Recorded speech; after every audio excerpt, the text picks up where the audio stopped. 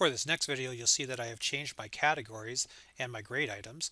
I'm now going to mark my students based on Unit 1, 2, 3, and 4, and in each one of the units, students are going to complete a skills quiz, an application assignment, and a unit test. Now let's take a look at how we can tie in assessment tools in Brightspace to our grade tool. First, let's take a look at how we can tie a quiz into our grade tool.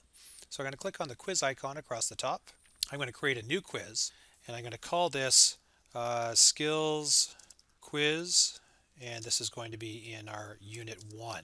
I can categorize my quiz but that's not what we're going to be talking about in this video. Next I'm going to click on the assessment tab across the top.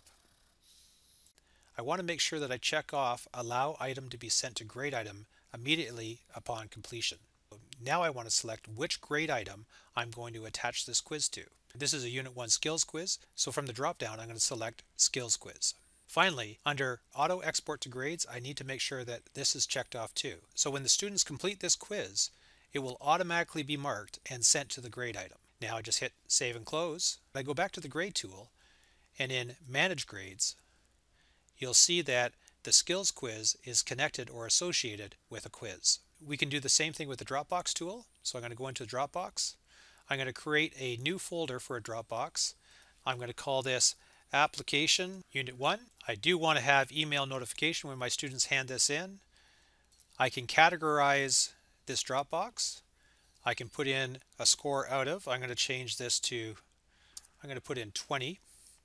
And now I can link to one of the existing grade items or I can create a new grade item. But because I've already created a grade item for the application assignment, I'm going to select it from the drop-down list. Click Save and Close. And now when I go back to the grade tool, under Manage Grades, you'll see that the application assignment is connected to a Dropbox. So when I mark the student's assignment in the Dropbox, the grades will automatically be exported to this grade item. But what happens if we don't already have a grade item for a quiz or a Dropbox? Let's take a look at that. You'll see in Unit 4, I don't have a skills quiz or an application assignment grade item.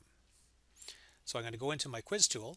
I'm going to create a new quiz this time it's going to be the skills quiz for Unit 4. I can categorize it. When I go over to the Assessments tab, I want to make sure I check off Allow Attempt to be set as graded immediately upon completion. I would only select this if all of the questions in your quiz are self-marking. Next, from the grade dropdown, you'll see that I don't have a skills quiz under Unit 4. I'm going to have to create an item, so I'm going to do that. Add grade item, and I'm going to type in skills quiz, and I can select what category to put this into. I'm going to select Unit 4. Down here, I can say maximum number of points, and that will be dictated by the number of questions that I put into this quiz later on. But for now, I'll say 15, and the weighting, I'll put in as 20. Finally, click Save and save and close. Now, when I go back to my grades tool in the manage grades section, when I scroll down, I'll see that under unit 4, I now have a skills quiz that is going to be using a quiz in Brightspace. Let's do the same thing for a Dropbox. I'm going to create a new Dropbox. I'm going to call this application assignment and this is going to be for unit 4. I'm going to scroll down I can categorize it if I like. I can put in what I'm going to mark it out of. And now I can select a grade item, but you'll see that in Unit 4 I don't have anything for application assignment. I have to create a new grade item. It's going to be a numeric grade item. Now I have to put in the name. I don't need to put a short name in. Select the category where I want this grade item to go into. And let's say I forgot to put that in. That's fine. I'll show you how to move that afterwards. And click Save and Save and Close.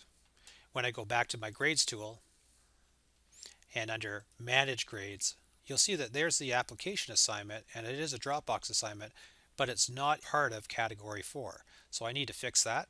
The way I can edit this grade item is simply click on the link and then select the category that I want it to go into, save and close, and now when I go down to Unit 4, it is indeed in the category for Unit 4. I'm going to create one last grade item here for Unit 3. It's going to be a Dropbox assignment new folder, and it's going to be an application for Unit 3. Scroll down, category Unit 3. It's going to be marked out of 50. Grade item, not there, so I have to create one. Numeric and application. Short name I don't have to worry about. I want to make sure it goes into Unit 3 and then click Save and Save and Close.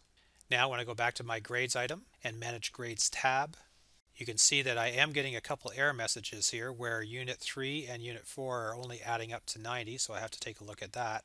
And also, I don't really like the order of the assignments in Unit 3 and in Unit 4. So the first thing I'm going to do is reorder everything. So Unit 1 and 2 were good. Unit 3 and 4 were a little bit of a mess. I'm going to move the application assignment up one and I'm going to move the quiz in Unit 4 up and the application assignment up as well and I'm going to click Save. It looks like everything is ordered the way I want it to be. Now I have to take a look at the weighting and I can see that the application assignment for Unit 3 is only weighted 10% and the same thing for the application assignment in Unit 4 and those are the two that I have to fix. By selecting them and then clicking on bulk edit I can change both of them at the same time. The max points I'm not worried about right now but the weighting should be 20 for each one of these. Click Save, no messages at the top and I'm good to go.